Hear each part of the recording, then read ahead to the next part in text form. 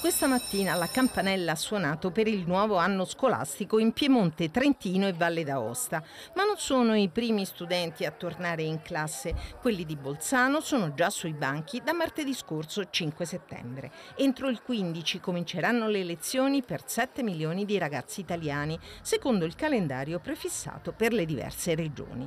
In piena autonomia i singoli istituti possono decidere di adattare il calendario scolastico alle specifiche esigenze ambientali ambientali, su proposta del Collegio dei Docenti. Per assicurare la validità dell'anno scolastico resta obbligatorio il limite di 200 giorni di lezioni.